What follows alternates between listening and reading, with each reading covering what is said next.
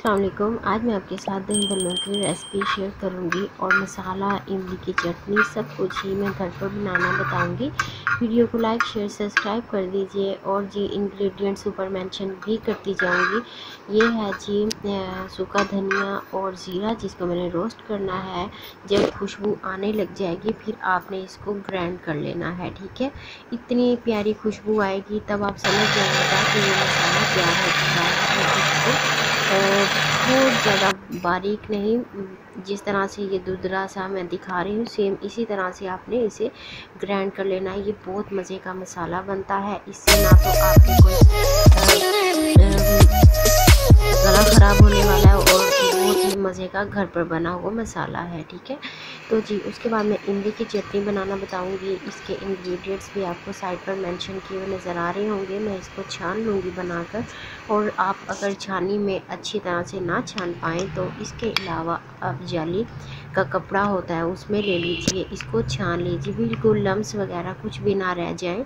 इस तरह से आपने जाली का कपड़ा लेना है, उसमें आपने इसको अच्छी तरह से छान लेना है। और लम्स वगैरह बिल्कुल ना रहे, उसका बिल्कुल लिक्विडी जो होगा, वो इस तरह से आ जाए। तो बहुत ही मज़े की ये इमली की चटनी भी तैयार है, जिसके अंदर मैंने साल्ट रेड चिली पाउडर वगैरह ऐड किया है। और पानी वगैरह ऐड किया है तो ये तैयार हो चुकी है मेरी चटनी।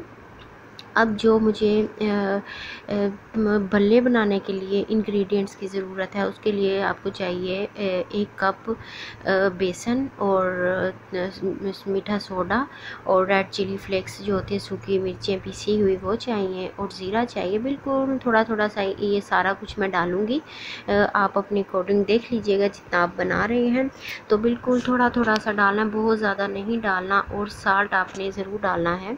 तो जी, मैं लाइट हल्के हल्के हाथों से फिर इसको मैश करते जाना है। जिस तरह से मैं आपको दिखाऊँगी, सेम उसी तरह से पेस्ट होना चाहिए इसका। बिस्मिल्लाहिर्रहमानिर्रहीम।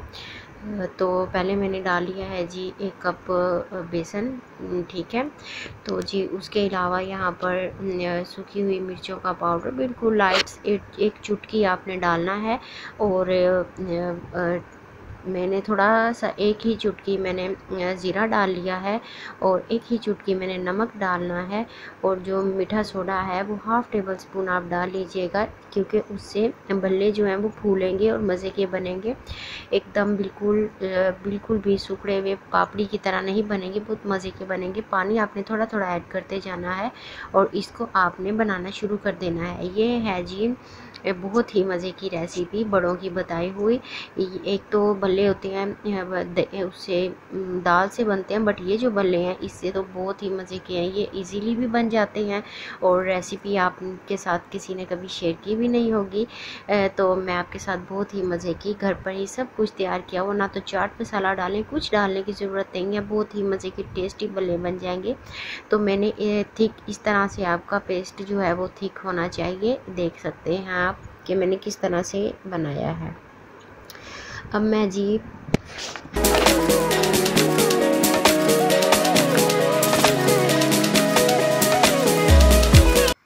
घी या ऑयल जो भी आप यूज़ करते हैं, उसको पहले अच्छी तरह गर्म कर लीजिए ताकि वो अच्छी तरह गर्म होगा। तो उतने ही भल्ले फूलेंगे और ऊपर की तरफ़ खुद ही आते रहेंगे। आप देख सकते हैं कितने मज़े के फूल चुके हैं। कलर जो मैं आपको दिखाऊँगी, वो वाला कलर होना चाहिए। हल्की सी आँच में आपने इसको पकाना है ताकि ये अच्छी तरह अंदर तक जल जाए और बिल्कुल सड़े नहीं। इनका गोल्डन ब्राउन कलर होना चाहिए। इसको मैं सबको फ्राई करती जाऊँगी और एक साइड पर रखती जाऊँगी, तब तक ये ठंडे भी थोड़े से हो जाएँगे। तो जी, सारे बलों को एक साथ बनाकर फिर मैं आपको आगे का प्रोसीजर बताती हूँ।